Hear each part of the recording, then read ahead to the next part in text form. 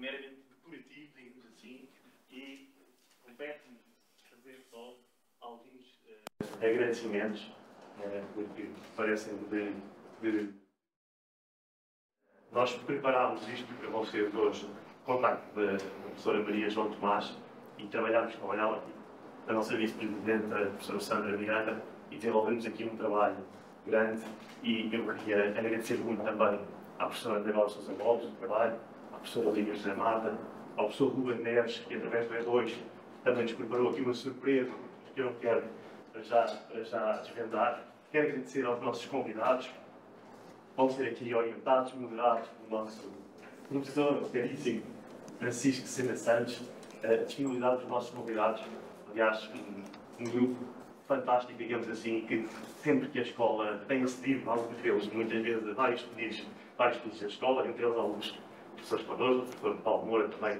está connosco já há muitos, há muitos anos e, portanto, gostava só de, de, de fazer estes agradecimentos. Não vos vou tomar muito mais tempo. Vou querer assistir o tema. Acho que está tudo, digamos assim, dito, não sobre o tema, mas sobre a importância do tema. Não preciso de, de, de me alongar sobre isso. E como já estamos no nosso, na nossa agenda, vou passar aqui ao professor Francisco Sena Santos, que vai tomar conta das operações como tão bem. Muito obrigado a todos, espero que gostem e até já. Bom dia. Passaram, passaram apenas 20 anos. 20 anos, se calhar para a maioria de vocês, é, é, é muito tempo. 20 anos é o tempo de uma geração, é, mas é apenas pouco mais de 20%, eh, ou talvez nem tanto, de, eh, da vida de uma pessoa. 20 anos sobre um, aquele dia, uma terça-feira, uh, 11 de março de 11 de setembro de, de 2001.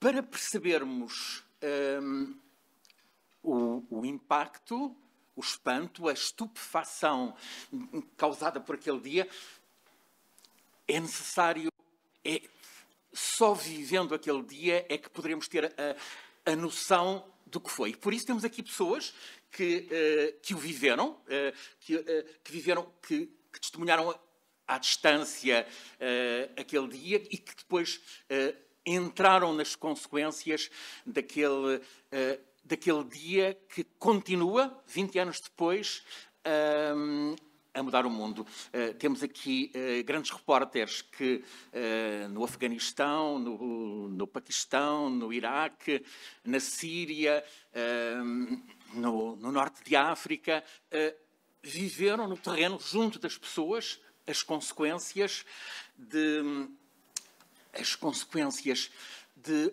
um golpe talvez o mais audaz, seguramente o mais audaz destas últimas décadas. Um, na, na, Segunda Grande Guerra houve Pearl Harbor e no dia, e no dia seguinte um jornal dos Estados Unidos uh, fazia a primeira página com o título O Dia da Infâmia. No dia 12 de setembro de 2001, dia seguinte ao dia do derrubo das Torres, torres Gêmeas, um jornal de, de, de, Portland, o Oregonian, fazia este mesmo, tinha este mesmo título, uh, O Dia da, da Infâmia.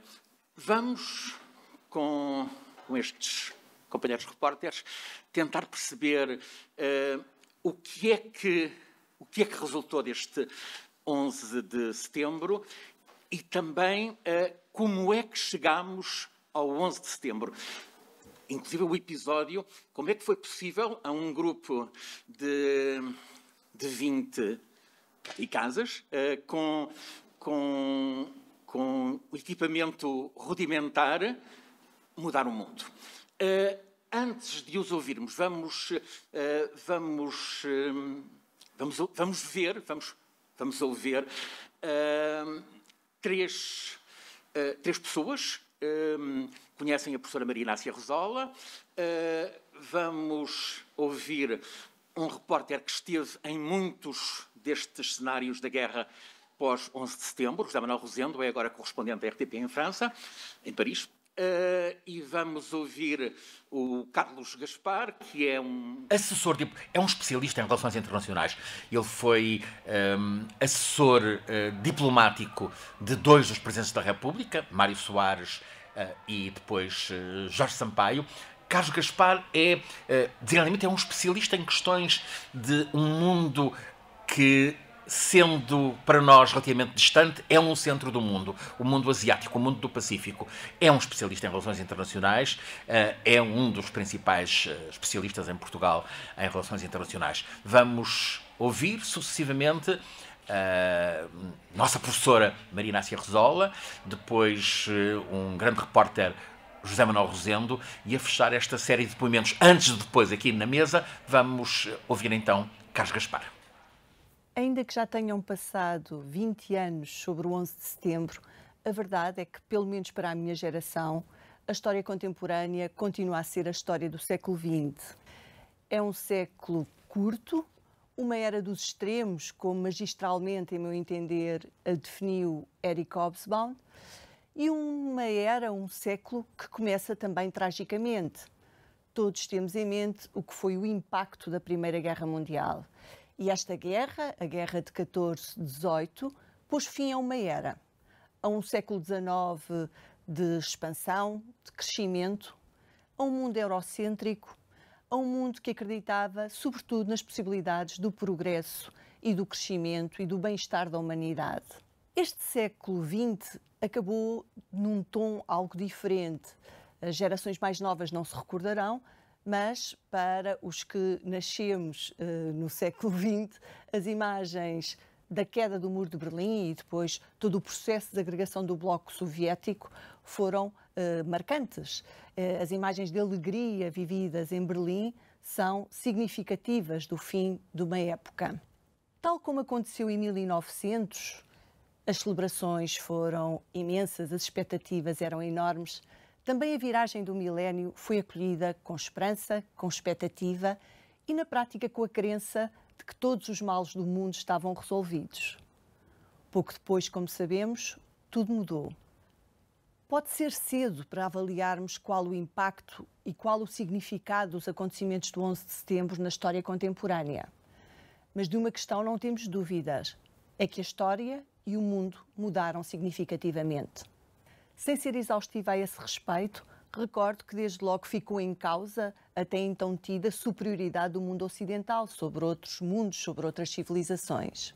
Da mesma forma, os desafios que se abriram com o 11 de setembro são enormes, e não só aos Estados Unidos, como a todo o mundo. Pensemos no que são, por exemplo, as questões da segurança, que não deixam indiferente mesmo o cidadão mais distraído. Note-se também, entre outras coisas, o desafio de um novo tipo de guerra. O que é isso da Guerra Santa? Como combater o fundamentalismo islâmico? Há, portanto, uma reconfiguração das preocupações, há, sobretudo, uma insegurança e uma incerteza que acabam por dominar esta viragem do milénio depois dos acontecimentos do 11 de setembro. Como dizia, pode ser ainda cedo para avaliar o real impacto do 11 de setembro, mas, tal como aconteceu com a queda do Muro de Berlim, ninguém vai esquecer as imagens do que se passou nos Estados Unidos ou depois, pouco depois, em Madrid, em Londres, em Paris. Definitivamente, tudo mudou, começou uma nova era.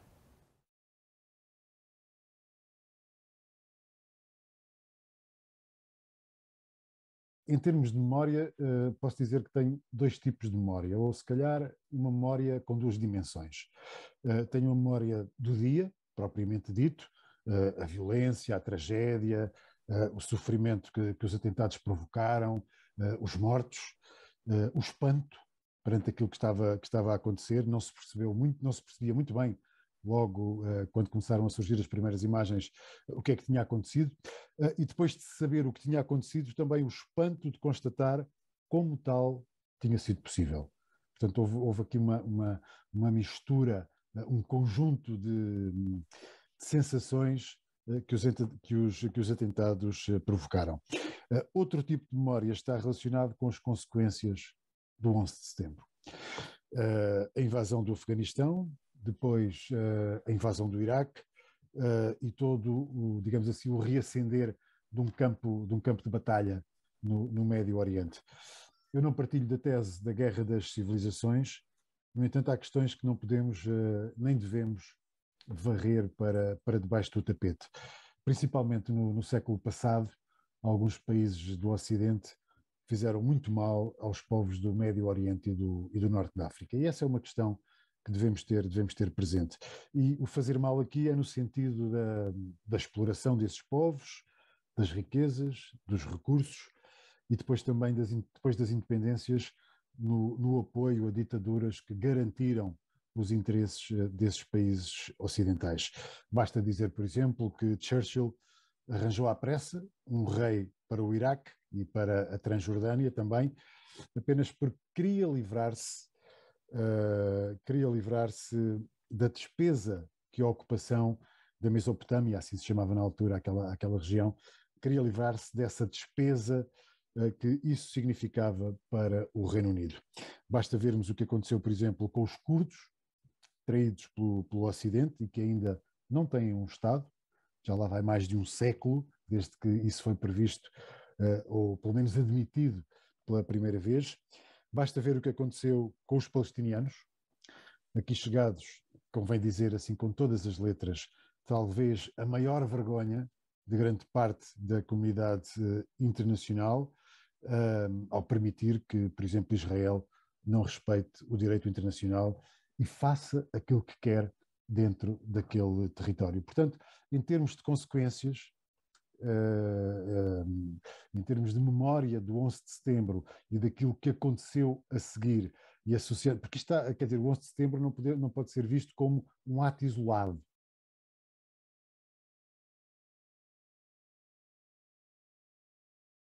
O 11 de setembro, um, posso dizer, atirou-me a mim para o terreno, é, é, a partir daí que começo a fazer reportagem no Médio Oriente uh, e nunca mais parei de aprender uh, com, com, com, as reportagens que, lá, que por lá tenho feito. Essa oportunidade levou-me, por exemplo, uh, estou a lembrar-me assim rapidamente, levou-me, por exemplo, a um campo de refugiados palestiniano. um campo entre Jerusalém e Ramallah, e eu entrei nesse campo e entrei num. Entrei não, fiquei à porta de uma pequena casinha que vendia chá. E essa pequena casinha tinha um cartaz por cima da porta onde o senhor estava a vender o chá para a rua. E esse cartaz tinha três, três, três fotografias. Yasser Arafat, o líder, o grande líder palestiniano, depois tinha mais duas. Saddam Hussein e Osama Bin Laden. E o que é que isto quer dizer? Visto à primeira vista, olhando assim, só vendo as fotografias e não pensando em mais nada, vamos dizer terroristas. É isso que vamos dizer. Uh, mas não era isso. Não era esse o significado. O significado daquele cartaz, pelo que me foi dito pelas pessoas que lá estavam, é que aqueles eram os homens, independentemente uh, uh, daquilo que eles, que eles eram de facto, porque convém também dizer que Saddam Hussein foi um ditador sanguinário e Osama Bin Laden não foi ditador, mas era igualmente sanguinário, portanto não era isso que estava em causa, mas eram os homens que ainda assim lutavam contra o Ocidente, que tanto mal tinha feito uh, àqueles povos e que eles continuavam a sofrer isso na pele. Não era uma defesa do terrorismo, era uma defesa daqueles que lutavam contra o Ocidente. A história é o que é, nós não a podemos nem devemos reescrever, mas temos de admitir os erros que alguns países, nomeadamente europeus, cometeram naquela zona do mundo. E o certo é que, por exemplo, ainda hoje, e apesar de já ter sido pedido o Reino Unido ainda não pediu desculpa pela declaração de Balfour, a declaração que promete uh, ao povo judeu uh, um Estado naquele território, no território da Palestina, sendo que quando isto é prometido, o Reino Unido apenas tinha um mandato para uh, gerir aquele território, portanto aquilo não era território do Reino Unido, e o Reino Unido prometeu a um outro povo um Estado no território que não lhe pertencia, e também ainda ninguém pediu desculpa aos curdos, os curdos que esperam uh, há mais de um século por terem a sua, a, a sua uh, autonomia. São apenas dois exemplos, e eu estes exemplos, e no momento em que certamente todos concordamos e condenamos aquilo que aconteceu no 11 de setembro, devemos-nos também interrogar sobre outras questões. Quantas pessoas morreram no Iraque desde 2003? Quantas pessoas morreram no Afeganistão desde 2001?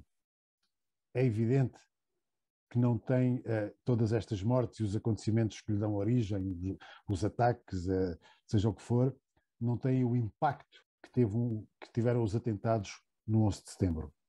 É? O impacto é diluído no tempo. Mas é bom que nos interroguemos quantas vidas humanas já se perderam no Iraque e no Afeganistão. E depois é terrível ouvir, por exemplo, não apenas, mas sobretudo os Estados Unidos, pedirem desculpa dos chamados danos colaterais. Pedem desculpa de haver mortos, assim, naqueles ataques, como nós pedimos desculpa a alguém quando na rua, sem querer, damos um toque noutra pessoa e pedimos, olha, foi sem querer. É quase isto. E isto para mim é chocante, é? Que, que, que ainda aconteça.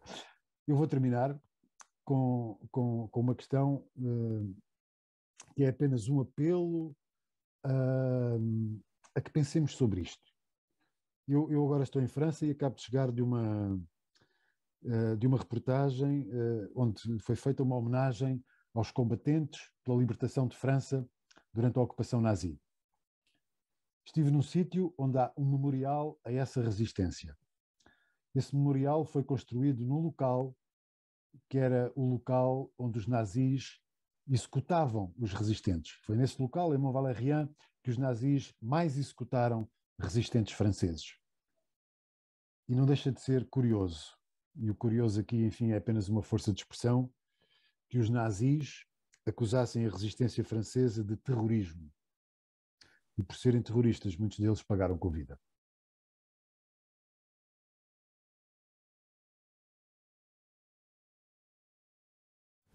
O 11 de setembro teve três consequências uh, fundamentais para a política internacional.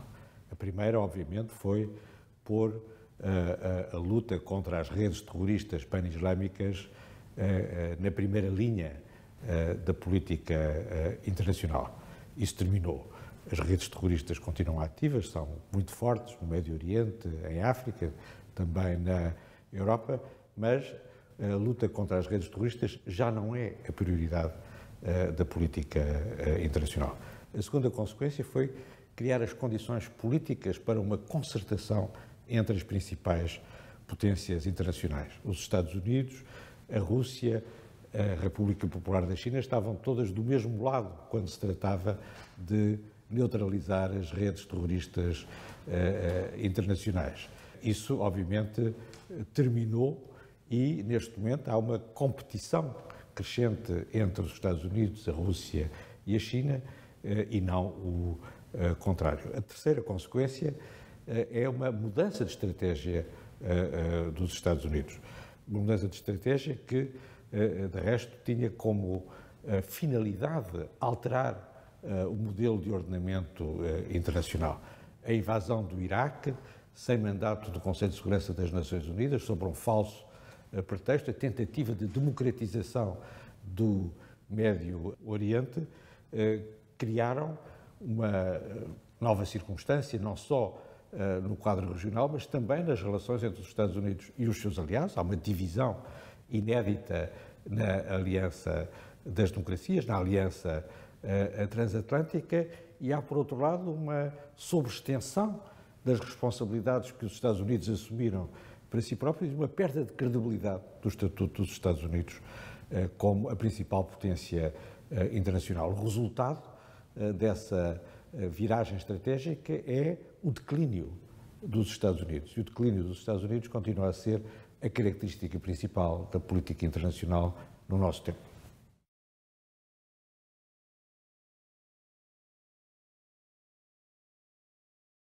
A principal questão do nosso tempo é como integrar uh, numa ordem uh, internacional que seja reconhecida por legítima pelo conjunto das grandes potências, uh, as novas potências asiáticas, designadamente a China e a Índia, que encontraram o seu caminho para a sociedade industrial, para o desenvolvimento económico acelerado, para a modernidade nos últimos nos últimos 30 eh, anos. São duas grandes civilizações. Eh, são ambas civilizações orientais, mas são duas civilizações distintas, a civilização chinesa e a civilização uh, indiana. E é preciso encontrar um quadro que garanta a coexistência entre as grandes civilizações, a sua convergência em nome de uma vontade comum de desenvolvimento, desenvolvimento económico, desenvolvimento uh, social, uma convergência em nome uh, da dignidade uh, humana e uma convergência, finalmente, em nome da necessidade de criar uma ordem internacional estável que limite os riscos de conflito entre as grandes potências. E depois, 2001, as, uh, o derrubo das Torres Gêmeas, o começo de uma, de uma nova era. Uma nova era. Não quer dizer que esses 12 anos que estão pelo meio, o tempo entre as duas eras, sejam um tempo de seja um tempo de trégua, um tempo pacífico. Uh, está aqui o Ricardo, lembro-me, uh, viveste intensamente no terreno nesses anos 90 a guerra nos, a guerra nos Balcãs, eh, a, a, a, dissolução da, da ex-Jugoslávia. Houve, uh, quer trazer uma memória o que, foi, o, que foi essa, o que foi esse tempo? 90, 95? 95, dezembro de 95 é a, é a paz de Dayton, é o, é o momento em que a guerra acalma, não, não para totalmente, mas, mas acalma. Bom dia. Uh, estão a ouvir? Sim foi um tempo em que foi um tempo em que havia dinheiro no jornalismo. Pois é. E isso mudou muito. é? Mudou muito depois, mudou muito depois do 11 de setembro. Uh, nós, se calhar, se calhar, uh, se calhar vamos ter a oportunidade de falar disso. Antes de mais, deixem-me só em 10 segundos ter desculpa pelo atraso. Eu entrei no edifício às 10 e 05 uh, achei imensa piada perceber que havia estúdios de música, porque nas cinco ou seis vezes que tinha vindo cá não tinha dado conta que havia estúdios de música no primeiro andar e, passados 20 minutos, percebi que estava na Escola Superior de Música. E, portanto, foi, foi só essa a razão. Depois podemos, podemos falar de outras coisas, tipo a Escola Superior de Música, no primeiro andar, os elevadores e as escadas não, não dão acesso ao segundo andar. Portanto, quer dizer, Pois há, há problemas o Ricardo fez, a partir de Belgrado, uh, uh, ex-Jugoslávia, uma extraordinária reportagem, um programa de uma hora com uh, a música, uh, com um pianista em, em direto a acompanhar a reportagem. Com Zora, com Zora a tocar piano e as bombas ouvirem-se lá fora, assim, num, num, programa magistralmente dirigido pelo Francisco Sena Santos. mas eu gostava, provavelmente poderemos voltar a esse assunto mais tarde, mas queria só dizer o seguinte o facto de estarmos aqui hoje é ótimo para nós, uh, espero que seja minimamente positivo para vocês, uh, mas não é um bom sinal do jornalismo. Não é bom. Porque há 20 anos estávamos em Cabul e agora nenhum de nós está em Cabul. Nenhum. Podemos depois discutir as razões, porque é que uns não foram, outros não foram, tem a ver com os sítios onde estão, mas não há jornalistas portugueses em Cabul, nesta altura desde meados de agosto. Ninguém foi. Também não há quase, de quase nenhum outro país. Há alguns. Mais ou menos. Um, mais ou menos. Franceses. Mais ou menos. Nós podemos dizer que, quer dizer, eu e o Leonídio podemos, não estamos num, num grupo que é conhecido, não tem tido propriamente uma saúde financeira que permita um investimento desses, nesta altura, pelo menos. Uh, podemos dizer, ok, o El País está, mas o El País é, pertence a um grande grupo com muito arcabouço, está muito forte financeiramente terei algumas dúvidas, mas admitamos isso como verdade. Mas até o La Vanguardia foi. E eu não, não acredito que o La Vanguardia tenha mais meios Sim. que a televisão pública. E eu tenho a certeza que não vai por falta de vontade da Cândida que a RTP não está, não está em Cabul como estava há 20 anos. E, portanto, acho que isso também nos deve fazer refletir sobre o que é que mudou no jornalismo e que jornalismo é que temos hoje. Mas... É, é não nos lembraste, não, não nos lembraste dos Balcãs, mas eu aproveito para fazer aqui um parênteses para, para, para, perguntar à Cândida, isto a propósito do tema, que é, que é um tema relevante, uh, onde é que o jornalismo vai? Uh, tu, como repórter, uh, andaste por Angola no, nos anos 80, 90, 90. Por onde é que andaste, por onde é que foste enviada especial? Para termos uma ideia de onde, é que o, onde é que o jornalismo português pôde ir em tempos, há tempos gloriosos da, da reportagem. Bom dia a todos e obrigado pelo convite. Eu acho que tive, como uh, os outros colegas que estão aqui, ou alguns dos colegas que estão aqui na mesa, nós tivemos o privilégio de viver os anos 90 no jornalismo em Portugal. porque foram os anos de afirmação de muita novidade em termos de jornalismo, de afirmação de meios, não é? Portanto, a SIC, o público, eh, uma série de. Eh, a TSF. A TSF, portanto, houve, houve, houve, afirmação desses meios e houve dinheiro. Eh, e, portanto, eu acho que isto pode parecer um bocado saudosismo, e é, obviamente, não é?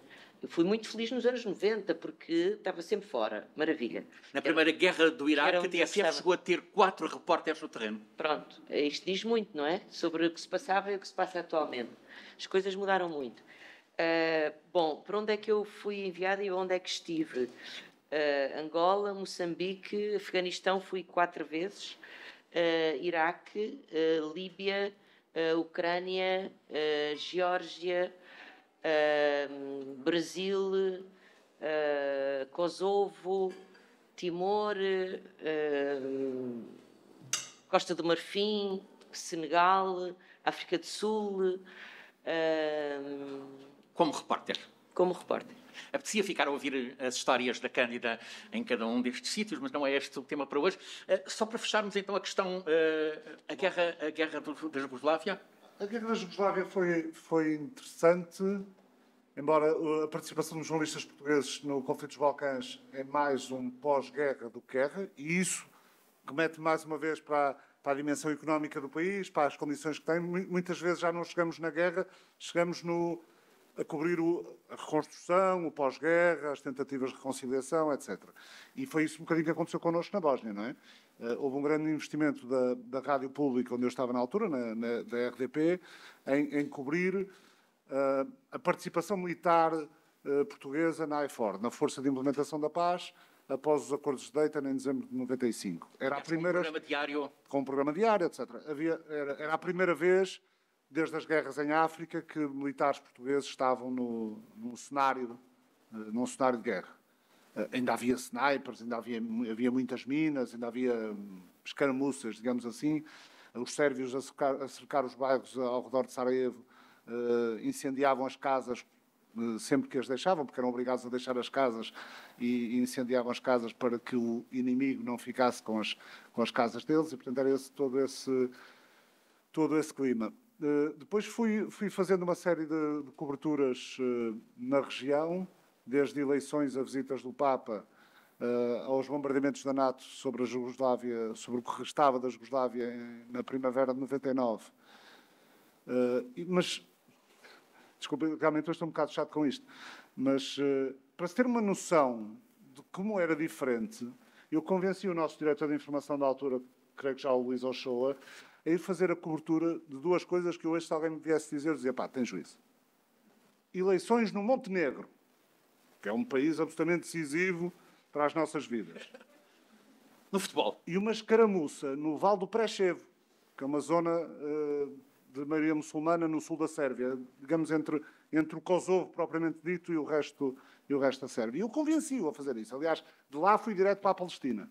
Quando o Rosendo há bocado falava na, nos efeitos que o 11 de setembro tem, tem, na Palestina, a segunda intifada começa ainda antes do, do 11 de setembro, começa um ano antes do, do 11 de setembro.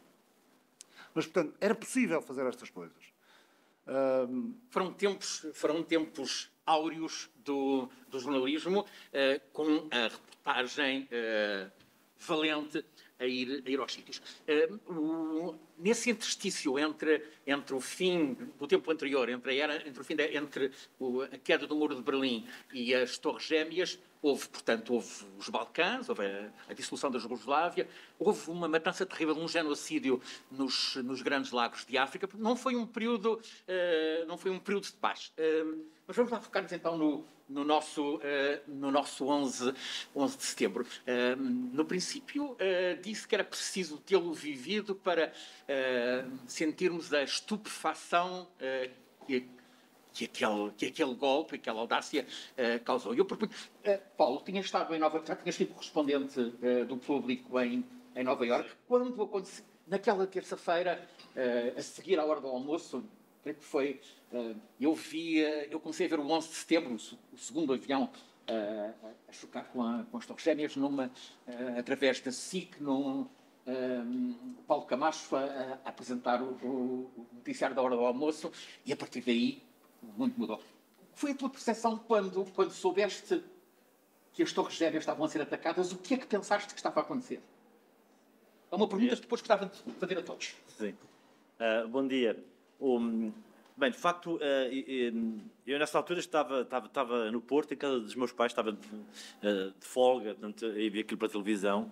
Um, mas eu, eu, devo confessar que, na altura, uh, quer dizer, uh, uh, um, foi uma impressão de, de choque, de, de, pensar como é que isto é possível. Parecia um filme, algo que, que tinham ensinado para nós, porque é como se algo tivesse vindo de outro mundo, não é? Que, aliás, é um pouco isso que os, muitos muçulmanos dizem, que foi uma espécie de intervenção no, no nosso mundo, algo que estava fora de qualquer tipo de previsão. Mas Dito isso, eu não tive a percepção naquele momento de como o mundo mudaria uh, por causa daquele acontecimento. E muitos tiveram, né? e muitos eh, diziam logo na altura, o mundo mudou, essa frase um, ehm, começou a ouvir-se nesse mesmo dia, né? o mundo mudou a partir de hoje.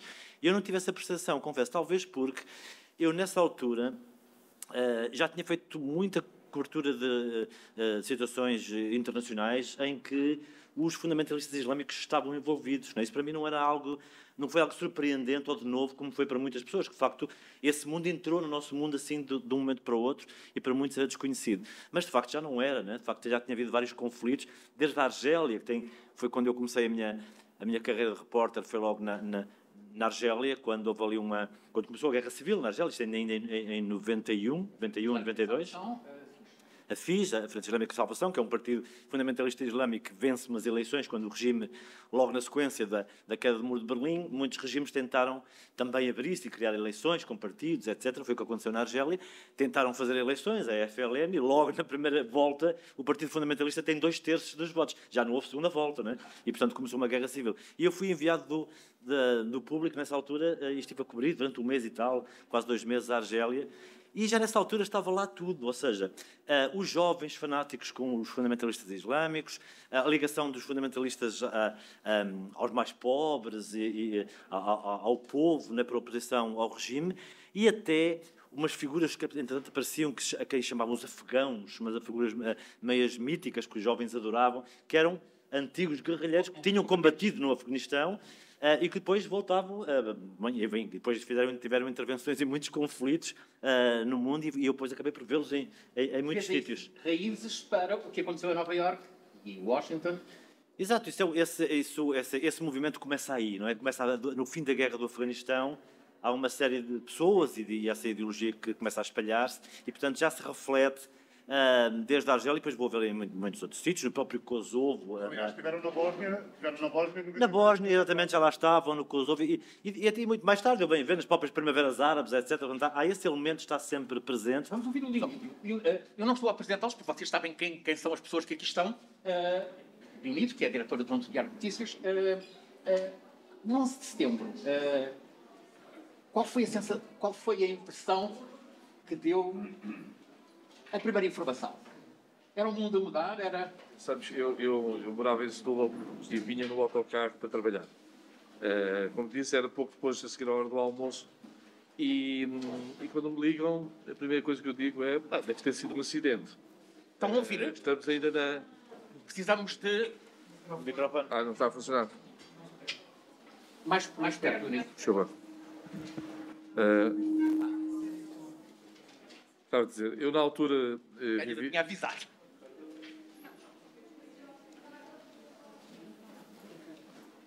Creio que podemos. Creio que podemos. Desculpa.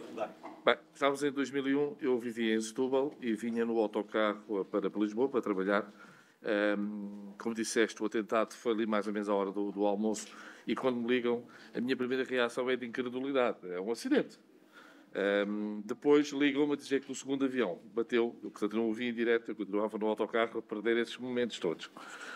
Devo-te dizer que, como não vi o segundo avião em direto, uh, vi depois aquelas repetições todas, mas para mim a maior surpresa foi quando a primeira torre cai. Porque. Uh, não podia cair. Exatamente, ou seja, um avião, um avião chocar contra uma torre já é extraordinário. Agora, uma torre, que era o prédio mais alto do mundo, cai. Eu, por acaso, tinha estado um ano antes na, na, na, naquela torre, mas nem sequer foi isso que, que a presença ou não. É como é que a torre mais alta do mundo cai e depois cai a segunda. e a incredulidade continua. Eu, eu... Esse momento crítico, o momento em que cai a segunda, o momento em que, em que há a noção de que as coisas estão a desabar. Eh, para mim é aquilo que me impressiona mais, mas como eu te digo, eu não vi em direto o segundo avião. E acredito que quem viu o segundo avião em direto tenha uma, uma impressão diferente. Eu concordo com o Paulo, porque eu não tive a ideia também de que o mundo vai mudar. O que tive ideia foi que há um atentado terrorista aqui de uma dimensão que nunca se viu. Eh, só para terem uma ideia, os números valem o que valem, estamos a falar quase 3 mil mortos. O recorde anterior era um avião da Air India que tinha explodido no ar, caminho do Canadá, com 300 mortos. Portanto, alguém conseguiu decuplicar o recorde do terrorismo internacional. Mas, atacando uma cidade que é a capital do mundo, e isto não é um clichê, quando vamos ver as pessoas que morreram naquele atentado, é incrível, porque chega é perto das 100 nacionalidades, morreram 4 ou 5 portugueses. Eh, por exemplo, é um atentado feito em nome do Islão político. Morreram, eu não quero dizer centenas, mas é provavelmente centenas de, de, de muçulmanos também. E, portanto, o, o atacar Nova Iorque e atacar as Torres Gêmeas é atacar o mundo. Mais do que, além dos Estados Unidos, claro, é atacar, atacar, o mundo. Depois houve também a tentativa do, do, do, ataque ao Pentágono, é que o avião ainda lá chega, e o outro avião que supostamente ia para a Casa Branca e cai. Mas eu não tive essa percepção que o mundo ia mudar. Tive, essa percepção, tive a percepção de que era um incrível atentado terrorista aos Estados Unidos e que, portanto, a reação dos Estados Unidos tinha que ser tremenda. Eu tinha estado nas eleições americanas anteriores. Uh, portanto, Bush filho. Bush Filho, que, que, que para mim foi, foi, foi uma experiência muito interessante, porque, pegando naquilo que o Ricardo disse, que era uma altura que o jornalismo tinha dinheiro, eu propus ao Diário de Notícias fazer uma cobertura indo dos autocarros da Greyhound em vários sítios da, da América.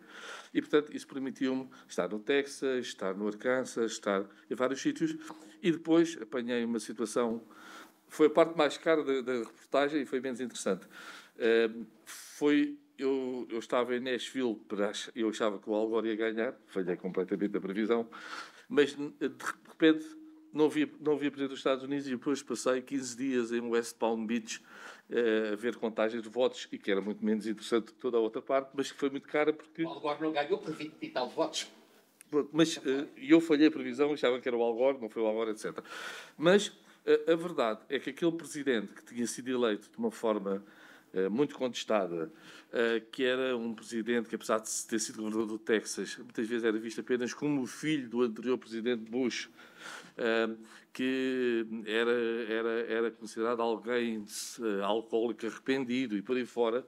De repente, era o homem que tinha que liderar os Estados Unidos num maior desafio que os Estados Unidos tiveram, provavelmente desde Pearl Harbor. É?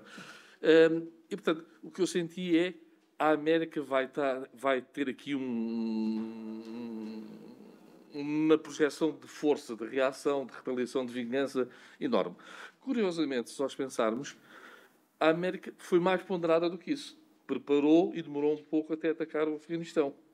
Aliás, fez pressão sobre os talibãs para entregar a Bin Laden e só quando eles não entregaram é que a América decidiu, decidiu, decidiu lá ir. Depois percebemos que as coisas. Uh, avançarmos mais rapidamente, quando ataca o Iraque já era uma lógica completamente diferente.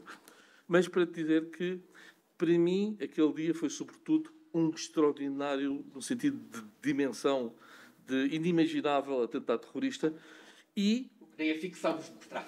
E, e, e, cair aquelas duas torres, sinceramente. É, e o António, o que é que o António hum, sentiu naquele... encontrou naquele 11 de setembro? Eu, por acaso, eu e o Leonir trabalhávamos juntos nessa altura no Diário Notícias. Eu, por acaso, estava na redação quando o segundo, quando o segundo avião atingiu a torre. Uh, estava, estava a ler no meu computador, a televisão estava do lado esquerdo, e eu, pelo canto do olho, vi o, o segundo avião em bater na torre e pensei que era uma repetição do primeiro. um bocadinho mais o som? Pensei que era uma repetição do primeiro, ou seja, pensei. Até porque naquela altura não se tinha ainda essa dimensão de nada uns, umas semanas antes tinha um, uma avioneta tinha chocado contra um, contra um edifício na, nos Estados Unidos e, portanto, pensávamos que era outra coisa idêntica. Só reparei, só reparei que aquilo não podia ser uma repetição porque a outra torre já estava a deitar fundo. Portanto, a, a partir daí aquilo mudou tudo. Tornámos-nos uh, frenéticos na, na redação. Uh, passou a ser uh, quase tudo a pensar, pensado o jornal pensado para, para, para 11 de setembro, ou seja, portanto, para mudou-se tudo e, portanto, aquilo passou a ser quase uma gestão de, de, de crise. Um, e nesse aspecto, em termos de jornalismo, acho que foi para mim a, a, um, um, momento mais interessante de, da história do jornalismo em Portugal, um, que vinha assim do, dos, anos, dos anos 90, com, já com, com a Guerra da Jugoslávia, uh, tinha, tinha já conseguido chegar a sítios, um, mas acho que aí no setembro, acho que, acho que, que o jornalismo uh, portuguesas, as rádios, conseguiram estar nos palcos uh, principais uh, dos acontecimentos internacionais como nunca tinha, tinha estado antes. Uh, eu só para lembrar, eu, eu, eu, fui, eu fui para, o, eu para 11 de setembro, não fui o primeiro do Diário Notícias a ir, fui o segundo, um, ainda consegui ir ao Ground Zero, porque isto lá está, porque era um português que estava, que estava uh, a chefiar as demolições e que me conseguiu lá meter com, com uh, passando as várias barreiras de segurança e conseguimos lá meter. mas eu passei três semanas. Sim. Eu passei três semanas em Nova York e ao fim de três semanas telefonei para o jornal e disse isto o que era bom era ver qual era o impacto disto no espírito da América. E se eu fosse fazer um on the road aqui por, por, pela costa leste? E o Diário Notícias aceitou. O que, era, o que foi absolutamente incrível. Eu passei um mês e meio nos Estados Unidos. Um, hoje era impensável. Hoje, hoje é impensável ir aos Estados Unidos, quanto mais passar lá um mês e meio. Quer dizer, é, é, é inconcebível hoje. Um, eu, acho, eu acho que essa, essa é a grande diferença para o jornalismo. E com isso. Um, e com isso acho que vamos uh, aprendendo menos daquilo que é o mundo, uh, porque vamos sendo, sendo fontes secundárias a, a dizer-nos o que é que é. Cândido, como tu começaste no jornalismo mulher da rádio, depois uh, és mulher da televisão, há uma, uma realidade do 11 de setembro. Nós não vimos só nas Torres Gêmeas morreram 2.993 pessoas, não vimos nenhum corpo. Vimos alguns que se, que se lançavam lá, lá, lá do, do, alto da torre, não vimos ninguém. O que é que isto diz sobre o jornalismo? Bom, diz sobre o jornalismo e diz também sobre, sobre, sobre as sociedades e da forma eh, como se domestica ou não a reação aos acontecimentos.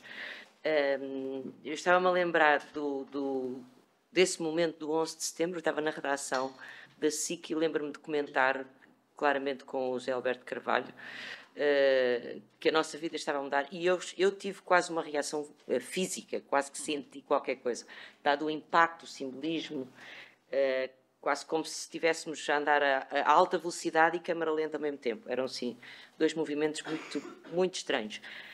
Em relação às vítimas, aos corpos, ou seja, se nós olharmos, por exemplo, uh, no mundo ocidental, em muitos países da Europa e dos Estados Unidos, uh, as vítimas são removidas uhum. do, do, espaço público da consequência, Sim.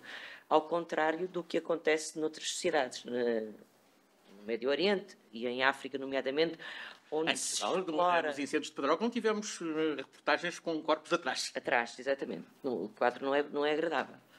Uh, mas, mas eu acho que isso tem a ver, por um lado, um, coloca-se essa questão: o jornalismo deve mostrar ou não deve mostrar os corpos e as vítimas deste tipo de situações. Uh, eu, eu acho que uh, é preciso, às vezes, em algumas circunstâncias, é preciso mostrar, mas é, é preciso saber como mostrar. Uhum pela questão da dignidade das vítimas. Uhum. Acho que é fundamental ter sempre em conta essa questão da dignidade das vítimas. Uh, e depois depende muito também das sociedades, porque para algumas sociedades é fundamental, sei lá, eu estou-me a lembrar, por exemplo, uh, 2002, uh, em Angola, quando uh, Jonas Savimbi, que era o líder da UNITA, foi morto. As imagens da, face dele abatido são um horror. Agora, aquela sociedade precisava de ver aquelas imagens para uh, ter a certeza acreditar, acreditar. Uhum. Isso era verdade. Portanto, há coisas que uhum. dependem muito. Sei lá, eu hoje olho para reportagens que eu fiz nessa altura, nos anos 90, com o tipo de imagens que eram mostradas uh, e que hoje eu jamais faria aquilo.